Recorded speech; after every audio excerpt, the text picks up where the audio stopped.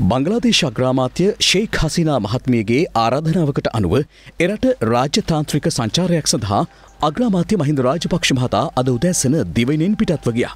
UL එකසි අසූ නවය දරන ශ්‍රී ලංකන් ගුවන්යානෙන් අග්‍රාමාත්‍යවරය ඇතුළු දුහත පිරිස බංගලාදේශය බලා පිටත්ව ගිය අතර මෙම සංචාරයේදී බංගලාදේශයේ නිදහස් ස්වර්ණ ජයන්තිය හා බංගලාදේශ ජනරජයේ ජාතිය පියා ලෙස සැලකෙන ෂෙයින් මුජිබර් රහමන්තුමාගේ ජන්ම ශත සංවත්සර සැමරුමටද අග්‍රාමාත්‍යවරයා එක්වීමට නිමිතයි.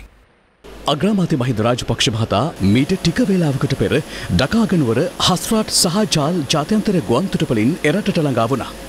එහිදී අග්‍රාමාත්‍යවරයා පිළිගනු ලැබුවේ බංගලාදේශ අග්‍රාමාත්‍ය ශික් හශීනා මහත්මියයි.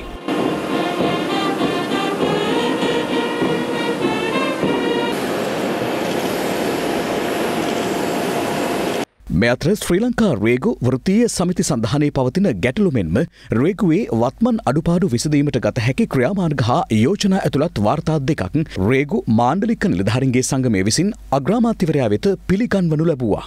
රේගු නිලධහරින්ගේ වැටුප විෂමතා ඉවත් කිරීමට අදාළ අවසන් නිර්දේශයන් පිළිබඳව රාජ්‍ය සේවා කොමිෂන් සභාවේ අනුමැතිය ප්‍රමාද වී ඇතිනම් ඒ ගැන සොවා බලන්නයි අග්‍රාමාත්‍යවරයා රේගු අධ්‍යක්ෂ ජනරාල් විශ්‍රාමික මේජ ජනරල් විජිත රවිප්‍රිය මහතාට දැනුම් දී තිබෙනවා.